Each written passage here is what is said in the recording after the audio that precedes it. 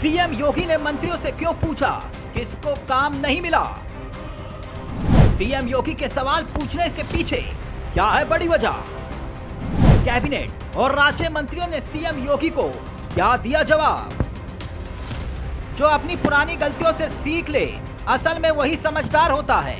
UP के मुख्यमंत्री के संदर्भ में अगर ये बात कही जाए तो कहना गलत नहीं होगा।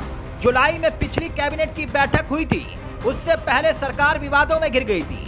याद होगा आपको, क्योंकि योगी सरकार में राज्य मंत्री दिनेश खटिक ने दलित होने और काम न मिलने का आरोप लगाते हुए इस्तीफा सौंपा था। लेकिन आपको ये जानकर हैरत होगी, ये इस्तीफा दिनेश खटिक ने सीधे केंद्रीय गृह मंत्री अमित शाह को भेजा था। अब एक बार फिर से राज्य मंत्रियों की बैठक हुई।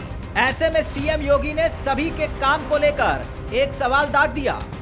ऐसे में जो जवाब मिला, वो भी काफ़ी दिलचस्प रहा।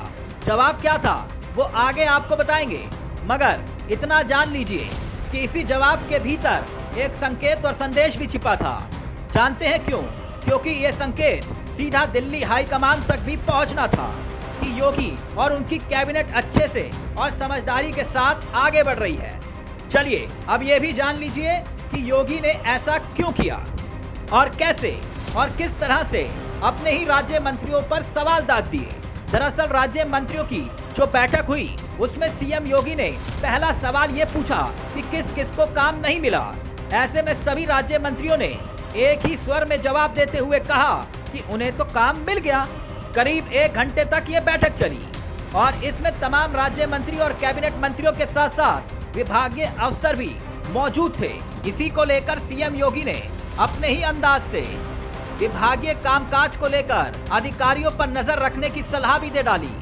और ये तक कह डाला कि अगर कोई अधिकारी काम नहीं करता तो सीएम ऑफ़िस में सीधा रिपोर्ट दे, जिसके बाद एक्शन होगा। यकीनन, निश्चित तौर पर ये जो बैठक की गई, इसमें सीएम ने सभी मंत्रियों के काम को लेकर अपनी मंशा को साफ़ ज़ाहिर कर दिया।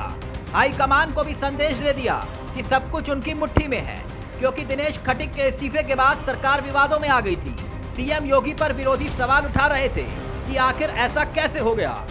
ऐसे में आप देखना यह दिलचस्प होगा कि आने वाले वक्त में तमाम कैबिनेट मंत्री, राज्य मंत्री किस तरह से काम की रिपोर्ट सीएम योगी को सौंपते हैं और उसके बाद उनका रिएक्शन क्या होता है। खैर ये योगी का स्टाइल है।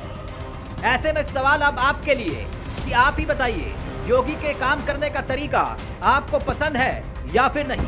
कमेंट बॉक्स में अपनी राय ज़रूर दीजिएगा। Your report, News World India.